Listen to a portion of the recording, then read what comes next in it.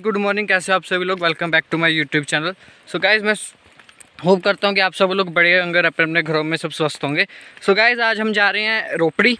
वहाँ पे हम थोड़ा घास काटेंगे और घास काटने के बाद थोड़ी देर खड्ड में जाएँगे नहाने के लिए। आ, बाकी आपको नीचे खड्ड दिखाते हैं कितनी अच्छी है। तो जैसे कि आप देख सकते हैं वो सामने खड्ड हैं और ये मेरी बहनें जा रही हैं आगे। तो ये गैस जो रोपड़ी का रास्ता है एक तो काफ़ी ख़तरनाक है, क्योंकि यहाँ पे काफ़ी सारे पत्थर हैं और पत्थरों के होने की वजह से यहाँ पे पैर फिसलते हैं और देखो गिरने का डर रहता है। और ये गैस हमारे घर से कम से कम मेरे ख्याल से दो किलोमीटर दूर होगा और ये खड़ी चढ़ाई है, जिसकी वजह से आदमी काफ़ी थक जाता है। और ये देखिए, अगर यहाँ से बंदे का पैर फिसला तो सीधा नीचे जाएगा और उसके बचने की उम्मीद तो बिल्कुल भी होगी ही नहीं। तो चलो, वहाँ पे चलते हैं। पानी तो आज खड्ड में काफ़ी सारा है। उस दिन तो गंदा पानी था, आज साफ़ ही है पानी सारा। तो चलो गए वहाँ पे चलते हैं और नहाएँगे।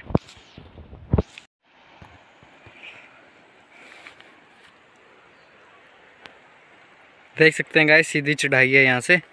वे हमें और नीचे जाना है। और वो देख सकते हैं वहाँ पे, वो मेरा छोटा भाई है। ये भी जा रहा है आज खड्ड। और वो दोनों मेरी वोरी दोनों बहनें। और ये छोटा भाई है। चलो गाइस मिलते हैं अब आपको नीचे सीधा खड्ड में मिलेंगे। और अगर कुछ दिखाने लायक होगा तो वो भी दिखाई देंगे। जैसे कि आप वहाँ देख सकते हैं। वो मेरे ताया ताई जी हैं, जो कि घास काट रहे हैं। अब हमें आते वक्त तो वही घास लाना है, वापस यहाँ को ऊपर। और आज तो काफ़ी हमारी बैंड बजने वाली है। काफ़ी बैंड बजेगी, क्योंकि ये जो चढ़ाई है, ये अगर हम खाली चढ़ें, तब भी काफ़ी सांस चढ़ जाती है, पर आज तो हमारे पास काफ़ी सारा सामान होगा मतलब घास ही होगा, और घास तो भारी होता है काफ़ी, और इसकी वजह से हमारा आज काफ़ी सांस फूल लेगा।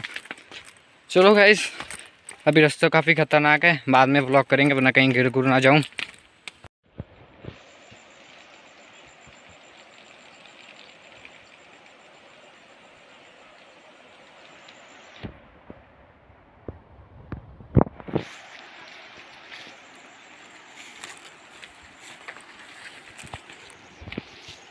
तो रे गाइस सारे, वहाँ पे वो सब लोग अब घास काटेंगे।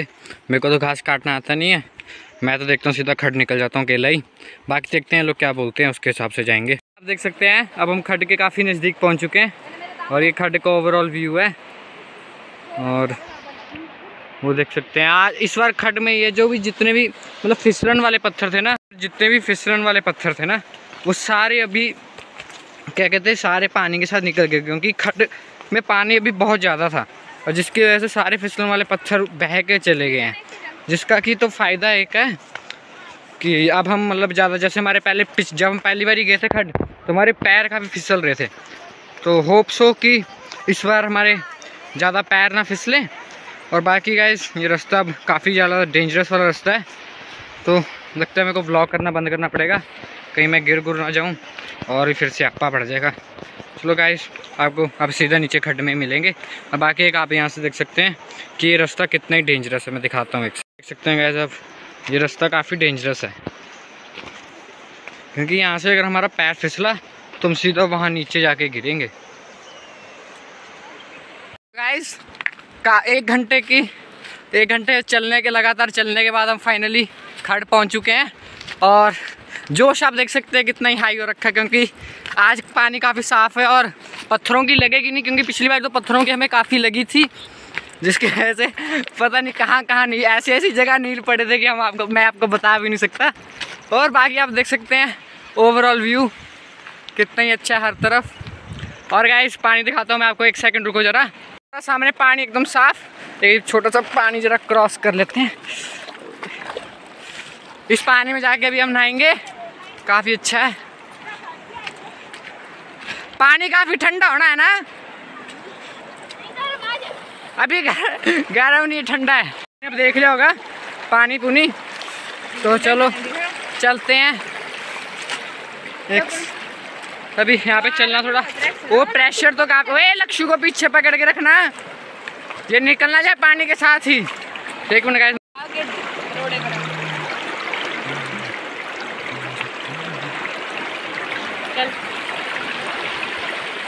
Wow.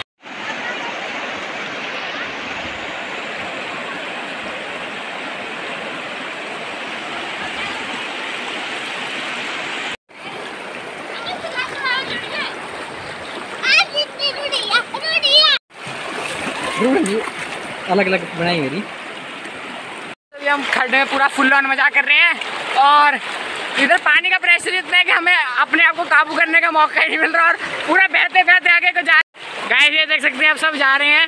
उल्टी उल्टी, यहाँ ऐसे हो। पूरे मज़े ले रहे हैं गाइस हम यहाँ पे आज। चलो, मैं फ़ोन रखता हूँ और अब अपना क्या करते फ़ोटो भी अपना अपने आप जाता हूँ नहाने के लिए। सो आप जैसे कि देख सकते हैं, मैं अब यहाँ पे खड्ड पार करने जा रहा हूँ और उनके पास जाना है मेरे को। और यहाँ पे जो पानी का प्रेशर है मतलब काफ़ी ज़्यादा तेज है एक टाइप से। काफ़ी ज़ोर लग रहा है इधर। देख सकते हैं गाइस कितना ज़्यादा पड़ी गई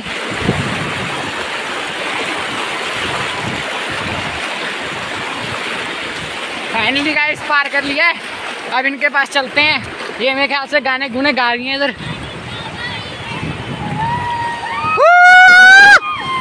यो यो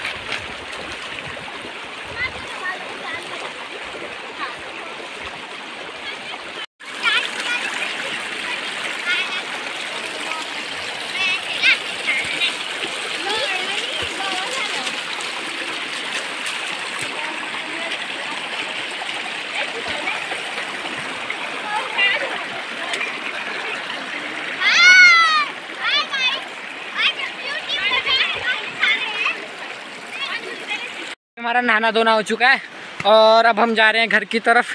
घर नहीं, ऊपर हमने अभी घास ही लाना थोड़ा सा और शरीर अब पूरा थक चुका है। बाकी उम्मीद तो है नहीं कि घास घुस उठा पाएँगे। चलो बाकी देखते हैं। और अब इस खाड को आखिरी बारी आखिरी बारी आ रहे हैं हम इस खड में। आप पता नहीं कब आएँगे। और अभी हमको काफ़ी ज़्यादा खड़ी चढ़ाई भी चढ़नी है और शरीर में जान जरा भी है नहीं। चलो गाइस अब आपको बाद में मिलते हैं।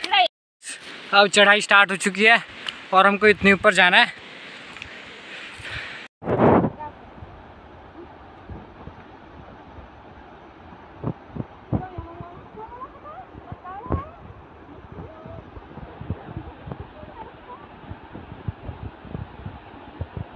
गाइस आप वहाँ देख सकते हैं लैंडस्लाइड हुआ है। यहाँ पे सारी सड़क गायब हो रखी है। और इस टाइम मेरे को सांस चढ़ी हुई है क्योंकि मैं इतनी नीचे से ऊपर आ रहा हूँ और अभी और ऊपर जाना है तो सांस काफ़ी ज़्यादा चढ़ रखी है। आप देख सकते हैं। ले जा मैनू दूर किते जिथे पानिया दे रंग ने नीले जिथे पत्थर ते आ झलना वजदियाँ। जैसा कि आप देख सकते हैं अब हम खड़ से आ चुके हैं और हमने अभी घास उठा लिया है भैंस के लिए। और अभी हमें काफ़ी दूर जाना है। और मतलब दो किलोमीटर है यहाँ से हमारा घर। तो कम से कम कोई आधा एक घंटा तो लगेगा आराम से। और है भी सारा चढ़ाई का रास्ता है। तो अब तो सारी जान निकल जाएगी।